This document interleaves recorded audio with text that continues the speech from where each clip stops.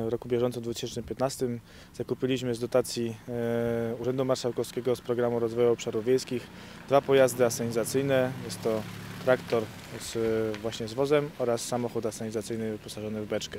Jest to inwestycja potrzebna ze względu na to, że gmina Drwinia jeszcze nie posiada kanalizacji zbiorczej.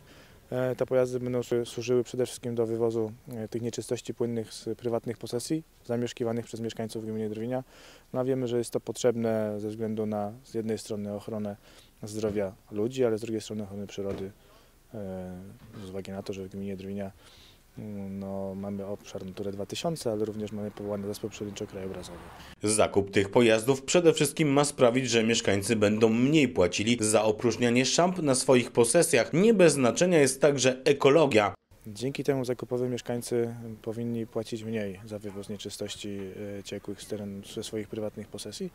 E, Ustaliliśmy już cennik i faktycznie no, jest to cennik, który jest e, najniższy z firm, które mają na dzień dzisiejszy mm, e, zgodę, czyli decyzję na wywóz nieczystości ciekłych z terenu prywatnych posesji. Oba pojazdy, które zakupiono dzięki unijnej dotacji, wyposażone są w pługi śnieżne.